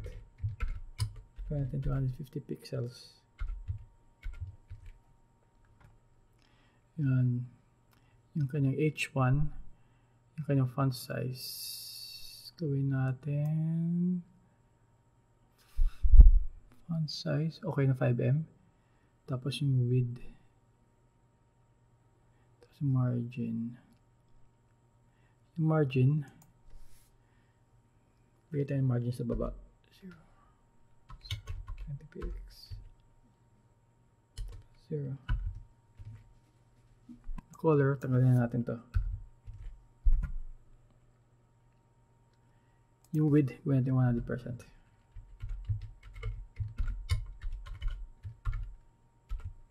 Check na natin. Uy, okay na. Kaso lumag pa si learn more.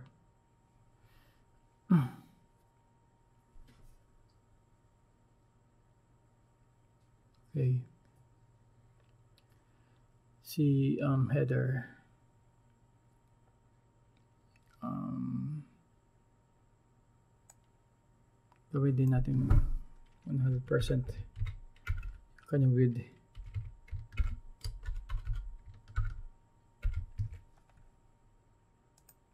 Ayun. Para sila ng ipsum dolor ay sagad. Para wala, siyang ano, um, hindi siya bumababa. Tapos ang susunod natin gawin ay si uh, yung anchor. Uh, font size niya is siguro gawin natin 3M.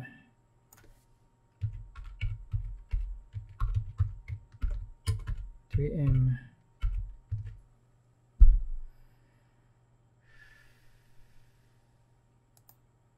Yun. Hover, wala na yan. Tagal natin. So, next na gagawin natin is yung blue box. Oh, nakaayos naman yung blue box, no? Hindi, okay na yan. Okay, okay yung blue box. So, so this may, si vlog. Main vlog.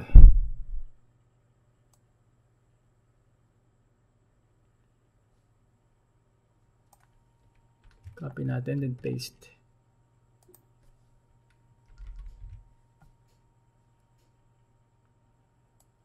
Uh, isin natin.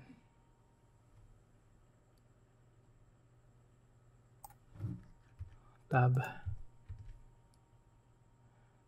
Alright, this main blog naman, gagawin natin ay yung image ko lakihan natin. Main blog.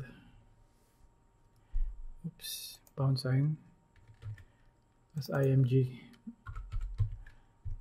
Gawin natin 100%. Okay, ang susunod ng kanyang UL at LI. Ito, copy natin, lagay natin dito sa taas.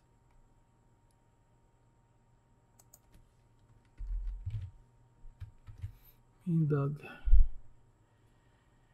Yung float niya, gawin natin none. Para hindi na siya mag-float. Tapos width, 100%. Hindi na, hindi na, pix, hindi na pixel. Tapos padding, Aha. Gawin natin padding. Gawin natin um, 0 sa taas, 0 sa kanan, 35 pixels sa baba, then 0 sa kaliwa. Yung, yung kanyang image. Ah, kaya 35 para may space siya sa, sa lorem ipsum. Sa, sa article sa baba. Next is yung kanyang anchor. And, ikot na natin to.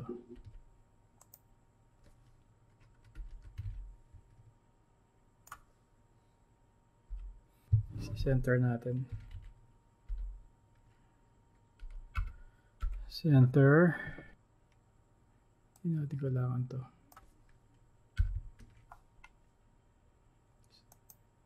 Yun.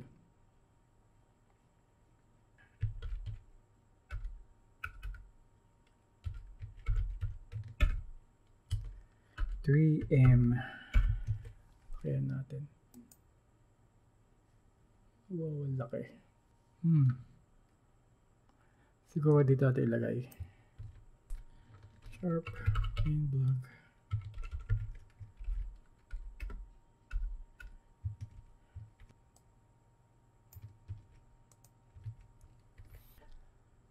Lagay tayo display block. Hindi siya gumikit na eh. Block.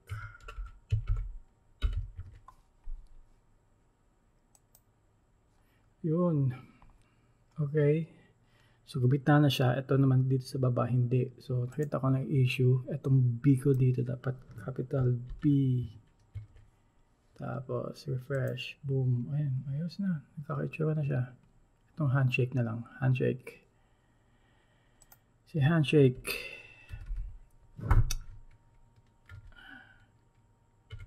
And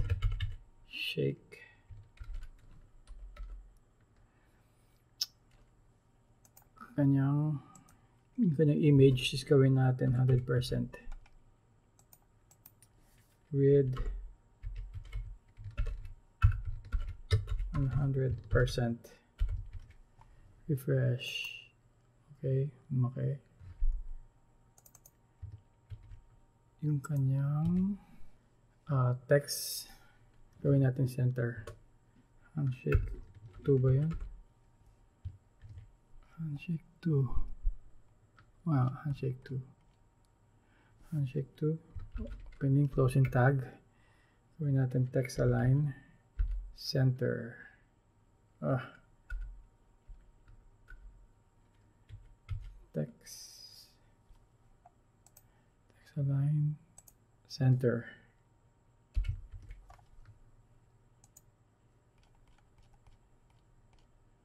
Alright next is yung kanyang paragraph. Lakihan natin yung font.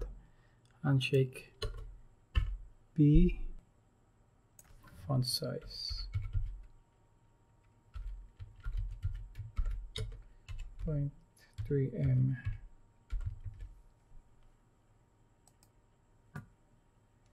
Right. So ayusin natin tong menu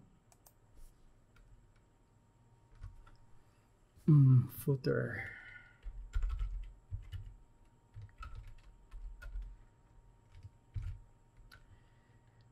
yung padding bottom niya lakihan natin tumatama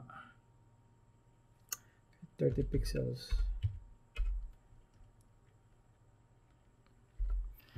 Thirty pixels. Tapos yung H4. Pakin natin yung font itong address, phone, menu, saka social media. Ano ba? Uh, footer H4 opening closing bracket font size 2M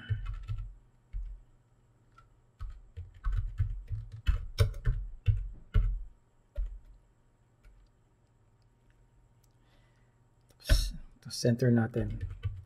Text align. Center. Refresh. Alright.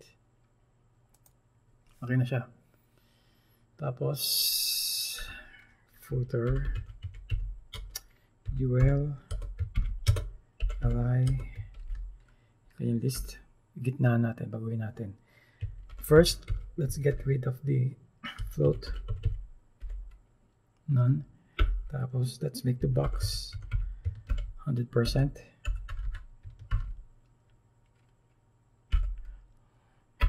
padding. Para magkaroon spaces. 0 sa taas. 40 pixels sa kanan. Tapos 0 0 sa bottom sa sa refresh.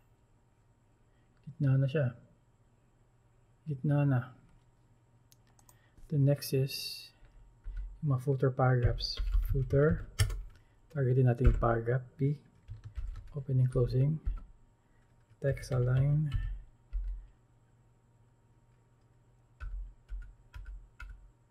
Text. Text align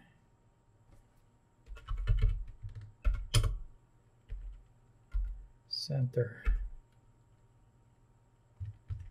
okay natin font gawin natin 2M font size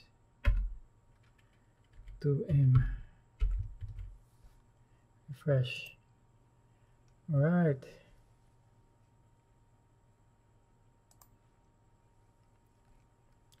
So, ito yung kanyang um, mobile version. Pwede siya sa iPad, Motorola, Galaxy, iPhone. Ayan. Tapos, sa kanyang um, desktop is this automatic.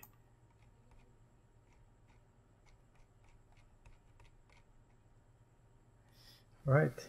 Uh, ngayon, tapos na tayo. So, gagawin natin ngayon is i-validate natin tong code na ito kung tama lahat. Punta tayo dito sa validator.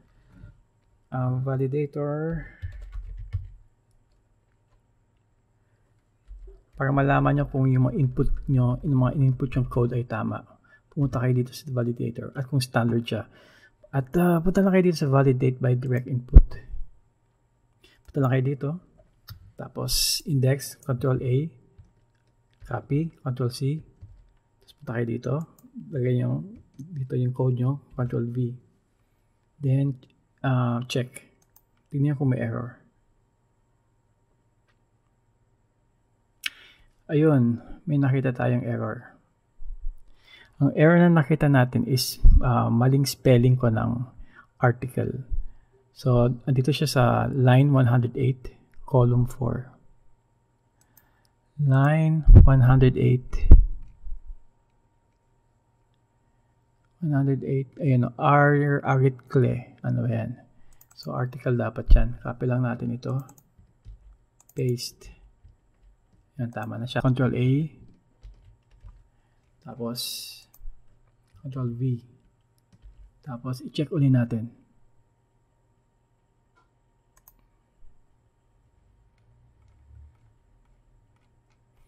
Ay, okay na siya. Document checking completed. No errors or warnings to show. Alright. So, ang next gagawin natin is yung CSS naman. Check natin kung uh, tama siya. Uh, click nyo dito sa CSS style sheets. Punta dito. Same process. Style, CSS. Control A. Control C. Click nyo dito. Tapos i-paste yung CSS nyo na nakopy nyo. Then check. Tapos, congratulations, no error found. So, alright. Okay, sa next lesson, we're going to tackle WordPress at kung paano natin siya i-install locally sa ating desktop. At uh, gagamitin natin to same design na ito sa WordPress like what I said earlier, hindi natin kailangan gawin itong ginawa natin, mag-code ng HTML at CSS. Pwede na kayo dumiretso sa WordPress. Eh. Kaya natin diniscuss to para din uh, magkaroon kayo ng idea what is HTML is all about at para matuto din kayo paano mag-code at paano din gumamit ng CSS. At sa sana meron kayong nakuha sa aking itinuro at kung medyo nalabuan kayo, don't hesitate to contact me. At uh, i-check ko yung mga comments para kung sakali may tanong kayo, I'll make sure na sasagutin ko siya.